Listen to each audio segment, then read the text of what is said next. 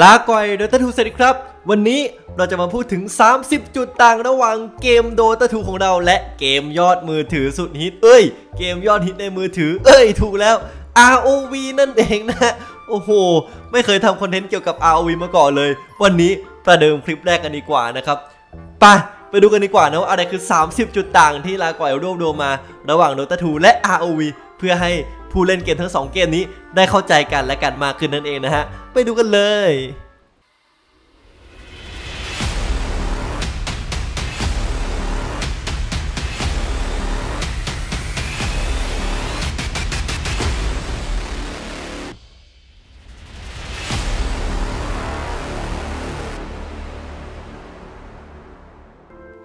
หนึ่ง ใน ROV มี 1 ตำแหน่งที่ใน Dota 2 ไม่มีนะครับ ก็คือตำแหน่งป่านั่นเองนะฮะโอ้โหฮีโร่ตำแหน่งนี้ เอ้ย เรียกว่าฮีโร่ได้ไหมเนี่ย เกิดมาเพื่อฟาร์มป่าเลยนะฮะ 2. การซื้อของใน Dota จะซื้อของได้เนี่ยก็ต้องวิ่งกลับบ้านไปซื้อ หรือซื้อใส่ courier บินมาส่ง แต่ว่าใน ROV เนี่ยเรากดซื้อของจากที่ไหนก็ได้ แล้วของก็จะวาร์ปเข้าตัวปุ๊บทันทีเลยทีเดียวนะครับ ระบบส่งของเขาดีมาก 3. การเก็บเงินจาก creep นะฮะ ในโดตาเราทุกคนรู้กันว่าเราต้องเล็งลัดครีปให้ได้ ไม่งั้นไม่ได้เงินเลยนะฮะแต่ว่าใน ROV เนี่ยง่ายกว่ามากๆ เพราะว่าขอแค่ครีปตายใกล้ ๆ ก็ได้เงินแล้ว I like money. การดีนายก็เช่นกัน โดตาเนี่ยถ้าเราดีนายคลิปปุ๊บฝันตรงข้ามไม่ได้ตังค์โดนตัดเวลด้วย แต่ใน ROV ไม่มีการดีนายให้รกหัว C ใน ROV จะมีสกิลช่องพิเศษ เช่น Heal Sprint Purify และที่น่าสนใจที่สุดก็คือ Flicker นั่นเองมันคือ blink ที่ cooldown 2นาทีนะฮะ ใน Dota เนี่ยไม่มีอันนี้นะ ถ้าอยาก blink ได้เนี่ยก็ต้องเก็บตังค์ไปซื้อนะ แต่ cooldown เร็วกว่าเยอะนะ ไม่ใช่ 2 นาทีแน่นอน 5. ระบบ rune และพลังแฝงก่อนเริ่มเกม RV จะมีระบบรูนและพลังแฝงใส่ฮีโร่ที่เราเลือกจะเล่นได้ ไม่ว่าจะเป็นแทงหรือ carry หรือ support ก็มีให้เลือกกันไป โดยใช้เงินในเกมซื้อมาจัดหน้า rune อัพ rune กันไป ใน Dota ไม่มีอะไรเพิ่มความสามารถของฮีโร่ก่อนเข้าเกมได้ 6. ระบบ stat ฮีโร่ใน ROV จะไม่มีสเตตสเตร n งอาจิอินเหมือน Dota แต่จะเป็นค่าพลังเวทพลังโจมตีเกราะตรงๆเลย รวมไปถึง 7 ไอเทมเช่นกัน ไอเทมใน ROV ก็จะไม่มีบวกสเตร n งอาจิอินจะมีแค่บวก damage พลังโจมตีพลังเวทแบบตรงๆไปเลยนั่นเอง 8. ใน Dota 2 มีใบวาร์ปสุดเทพที่สามารถวาร์ปไปที่ป้อมไหนก็ได้ในแผนที่หรือวาร์ปกลับบ้านก็ได้ แต่ใน ROV ถ้าคุณไม่มีสกิลวาร์ป ก็จะมีแค่ recall วาร์ปกลับบ้านอย่างเดียว 9. Dota 2มีระบบ buyback ก็คือฮีโร่ที่ตายสามารถใช้เงินกดซื้อเกิดมาใหม่ได้ ใน ROV ไม่มีระบบนี้ 10. อีกระบบหนึ่งที่ Dota มีแต่ ROV ไม่มีคือ กันป้อมนั่นเอง Glyph of Fortification ไอเทมถ่วงเวลาให้ป้อมแตกช้าลง แน่นอนว่าถ้า 2 ระบบที่พูดไปมีใน ROV เนี่ยเกมจะยืดแบตโทรศัพท์จะหมดซะก่อนนะฮะ 11. วอร์ด ROV ไม่มีวอร์ดที่ปักที่ไหนก็ได้ แต่จะเป็นดอกไม้ที่จะเปิด vision ในป่าแทน เพิ่มเติมเล็กน้อยนะครับใน ROV จะมีหิ่งห้อยที่อยู่ตรงแม่น้ำที่เมื่อเราข้ามมาแล้วเนี่ย จะมีก้อนแสงคอยสำรวจตรงป่าฝั่งตรงข้ามด้วยนะครับ 12 High Ground ใน ROV ไม่มีพื้นที่สูงต่ำ แต่ใน Dota 2 มีพื้นที่สูงต่ำฮีโร่ไม่สามารถมองขึ้นที่สูงได้ และถ้าโจมตีขึ้นที่สูง มีโอกาสตีมิส 25% 13 พุ่มไม้กับต้นไม้ พุ่มไม้ใน ROV คิดแค่ข้างนอกกับข้างในก็คือข้างนอกมองไม่เห็นข้างใน ถ้าศัตรูเข้ามาข้างในพุ่มไม้ปุ๊บก็จะเห็นเราทันที แต่ต้นไม้ใน Dota 2เนี่ยถ้าศัตรูมาอยู่ในป่าเดียวกับเราศัตรูอาจจะยังไม่เห็นเราอยู่ดี ถ้าเกิดมีต้นไม้บังอยู่ Hello there. 14 การหลบหลีก ใน ROV ไม่มีการหลบหลีก ไม่มีระบบ evasion ใน Dota 2 เราจะมีสกิลหรือไอเทมที่เพิ่มอัตราหลบหลีก และช่วยให้ตีทะลุการหลบหลีกได้เช่นเดียวกัน 15 Roshan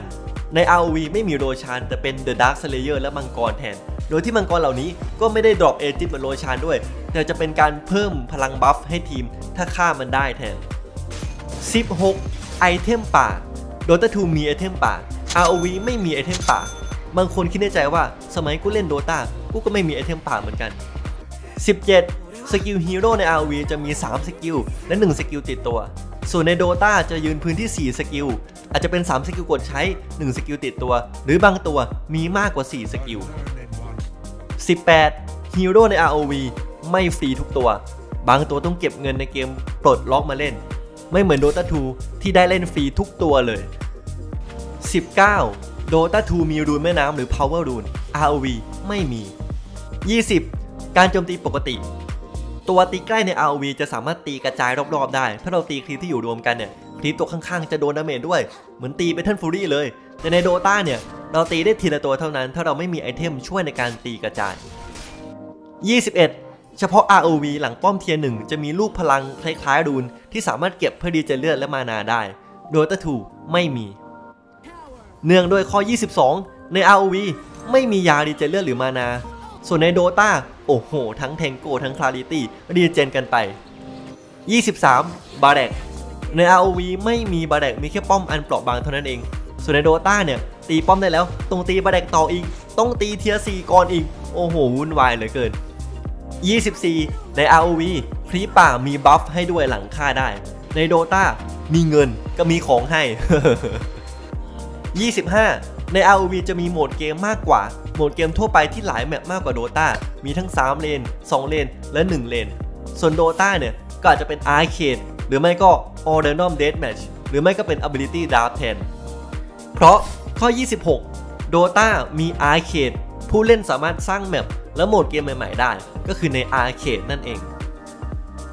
27 บ้านฐานใหญ่ใน ROV สามารถยิงได้ยิง creep หรือฮีโร่ได้ แต่ฐานใหญ่ใน Dota ยิงไม่ได้ ถ้าป้อม tier 4แตกไปแล้วเนี่ยยืนนิ่งๆ ให้ศัตรูตีอย่างเดียว 28 เลเวลใน ROV จะตันแค่เวล 15 เท่านั้น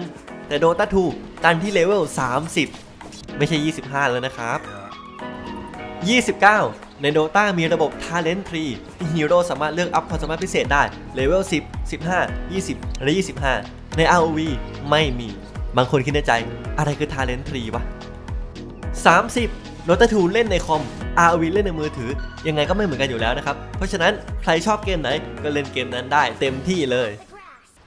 ก็จบไปแล้วสำหรับ 30 จุดต่างระหว่าง Dota 2 กับ ROV นั่นเองนะฮะ ถ้าใครที่มีข้ออื่นๆที่ลาก่อนไม่ได้พูดถึง หรือมีคอมเมนต์อะไรเนี่ย ก็สามารถคอมเมนต์มาได้เลยนะครับผม และแน่นอนว่า 2 เกมนี้เนี่ย ก็ไม่ได้มีแค่จุดต่างกันอย่างเดียวนะ มีจุดที่เหมือนกันด้วย ซึ่งเดี๋ยวจะตามมาต่อในคลิปถัดไปนั่นเองนะครับ ใครที่เล่น ROV เป็นประจำเนี่ย ต่อให้เล่น Dota 2 ไม่เป็น แต่ถ้าเกิดดูเป็นเนี่ย ลองย้อนไปดูคลิปเก่าๆของลาก่อยได้นะ บอกเลยว่าสนุกแน่นอนไม่แพ้กันเลยนะ Dota 2เนี่ยเอาจริงเป็นเกมที่ดูอย่างเดียวเนี่ยสนุกกว่าเล่นอีกนะฮะเพราะฉะนั้นวันนี้ก็ฝากไว้เพียงเท่านี้นะครับทุกคนลาก่อนก็ขอลาไปก่อนแล้วพบกันใหม่ในคลิปหน้านะครับอยากดูคอนเทนต์ topic อะไรอีกก็สามารถคอมเมนต์มาได้เช่นกันนะแล้วเจอกันนะครับทุกคนบ๊ายบายขอบคุณที่ดูมาจนจบอีกครั้งหนึ่งนะฮะ และอย่าลืมกดกระดิ่งแจ้งเตือนเอาไว้ด้วยนะ เราจะได้กลับมาเจอกันในคลิปหน้านั่นเองนะฮะ แล้วเจอกันตอนที่คลิปหน้าออกมานะครับผมสำหรับวันนี้บายบายครับ